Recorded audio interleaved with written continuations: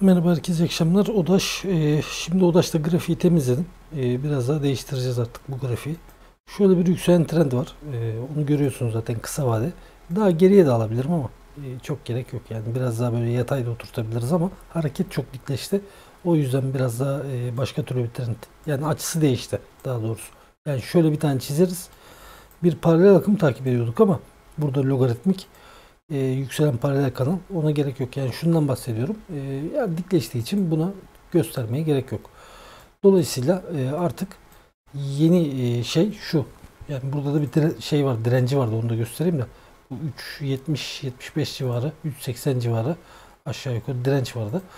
Onu kırdı. E, yükselen trend de devam ediyor. Şimdi bu yükselen trendin içindeyken e, bunun da geri almaları biraz fazla. Yani trendten koptuğu zaman ne kadar koparsa bir o kadar geri alıp trende doğru yanaşabiliyor. %100 değil. E, ille de yani bir temas beklenmez her zaman. Ama e, burada 3.73'e doğru şu an için söylemiyorum yani. E, 8 gün üstelin üstünde. Yani onu söyleyeyim 3.88 üstündeki kapanışlar devam ettiği, ettiği müddetçe muhtemelen yukarıda 4.15 direncine e, atak yapması beklenir. Yani şurada bir yeni bir direnç e, yarattı. Şöyle akımın içinde. Yani oraya hareketin devamı beklenir. 8 gün üstelinin üstünde kaldığı müddetçe. Yani yine dikkatimizi çeken ne var burada?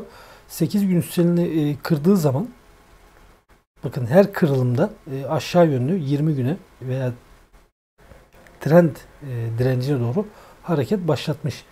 Dolayısıyla çok kısa vadeciler 3.88 biraz sabırlı arkadaşlar 3.73 ve 3.52 sırasıyla çok sabırlarda 3.52 takip edebilir. Ama dediğim gibi yani dik bir trende devam ederse 8 gün üstelinde üstünde kalırsa yani şuradaki gibi bir hareketten bahsediyorum. Ee, bir daha da tırmanışı e, kaldığı müddetçe orada hızlanabilir. Onu da söyleyeyim. E, bir tabi hacimlerde de biraz şey oldu. E, yani şu eğrinin hacimle başlayan eğri biraz böyle hacimleri de e, geriye doğru gitmeye başladı. O da önemli. Çünkü her seferinde hacimler geriye giderken Gerçi bugün toparladı aşağıdan ama e, gene 0.76 primli kapatmayı düne göre e, 0.76 primli kapatmayı başardı. E, bu da bir tarafta niye yani bir yerde alıcı geldi. 8 gün üstünün üstünde e, tuttu hisseyi. RSI hala yani şu son hareket dedim diyorum ya e, biraz önce şişede örnek verdim mesela. Orada anlattım. Yani bir tane doji ne işlere ne işe yarar işte orada gösterdim ne işe yaradığını. E, bu da çok önemli bir toparlanma. Yani neredeyse bütün bu RSI özellikle kendi ortamımızda kesişip aşağı bir akım e, verecekti. Bu olmasaydı muhtemelen e, MACD'de biraz daha boynunu aşağı doğru bükecekti. O da e, tam dik, daha doğrusu tam yatay bir şeyde kalmış.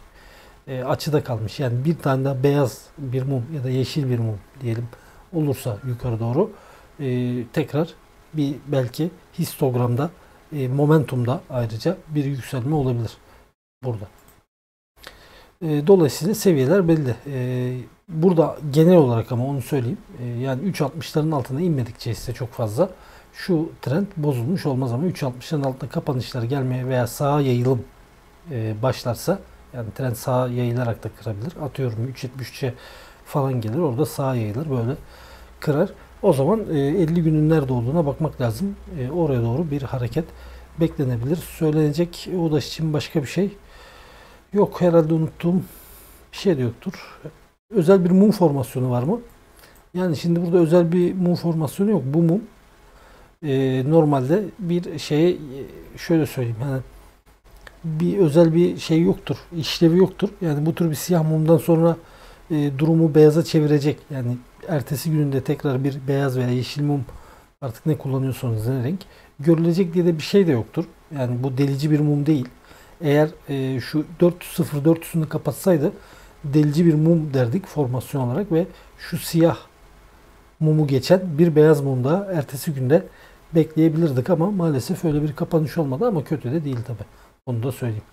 Ee, bunun dışında söylenecek bir şey yok. Unuttuğum herhalde bir şey de yoktur. Herkese iyi akşamlar.